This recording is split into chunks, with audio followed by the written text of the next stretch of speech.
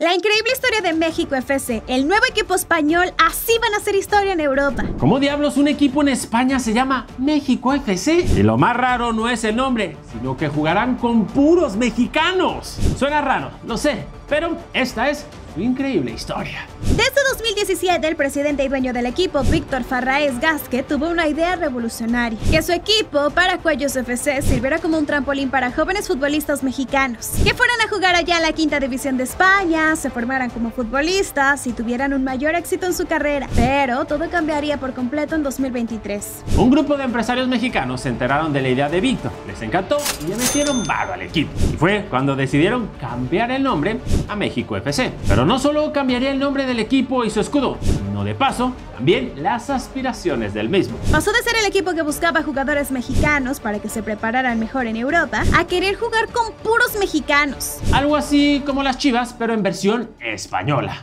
La intención del equipo sigue siendo la misma, que futbolistas mexicanos vayan a España, jueguen y vayan a desarrollar su carrera allá. Pero ahora el equipo tiene más ambición. Ya no solo habrá formación de futbolistas, quieren crecer también como equipo. En un periodo de máximo 8 a 9 años, la meta es que México FC esté jugando en Segunda División de España. Y acá viene lo mejor de todo. La meta seguirá siendo que jueguen solo futbolistas nacidos en México. El mismo presidente del club ha dejado claro que la meta es esa, jugar solo con jugadores nacidos en México. Y para esto, si logran ir ascendiendo a divisiones superiores, hay de dos sopas. Primero, que tengan pasaporte europeo o doble nacionalidad, o sea, mexicana y española.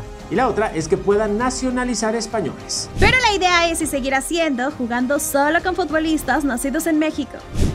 Aunque sí hay que aclarar algo. Al ser equipo español deben tener cierta cantidad de futbolistas españoles jugando para el club, sobre todo tratándose de jugadores de cantera. En el caso de México FC, como ya lo explicó Humberto, está el tema de conseguir la nacionalidad española o tener pasaporte europeo. Pero sí o sí la base de canteranos tiene que ser de futbolistas españoles y eso es por regla. En el proyecto actual ya hay jugadores mexicanos, como es el caso de dos futbolistas prestados por Pachuca, Jesús Martínez y Jair Zamora. La idea del equipo en estos momentos, en lo que se el plan grande, es que jugadores juveniles mexicanos o de la Liga de Expansión pueden ir a jugar a España. Este proyecto en México estará siendo impulsado y apoyado por Luis García Izague, aunque no de manera tan directa. Está de decir que si avanzan hasta segunda primera división, los jugadores extracomunitarios serán futbolistas mexicanos. Así el proyecto de México FC parece estar haciendo más por el fútbol mexicano que los directivos en la Liga MX. Con una apuesta arriesgada, pero buscando impulsar al futbolista mexicano en el fútbol europeo y de esa manera mejorar las cosas también en la selección.